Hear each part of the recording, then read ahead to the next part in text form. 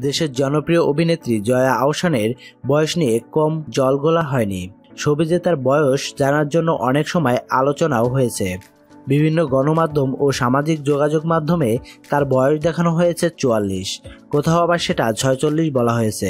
এবার ভারতীয় গণমাধ্যমে জয়া আহসান তার বয়সের কথা জানালেন।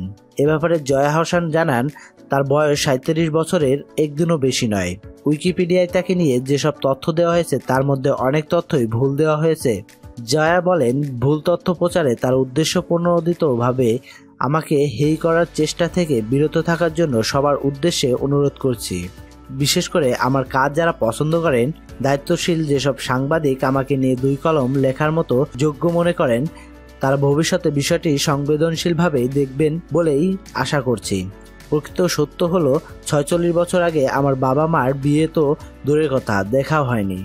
এ সময় তিনি আরও বলেন, শুধু বয়স ভুলের তথ্যই নয় বিভিন্ন মাধ্যমে উল্লেখ করা হয়েছে, আমার আরও দুই বোন ও এক ভাই রয়েছে।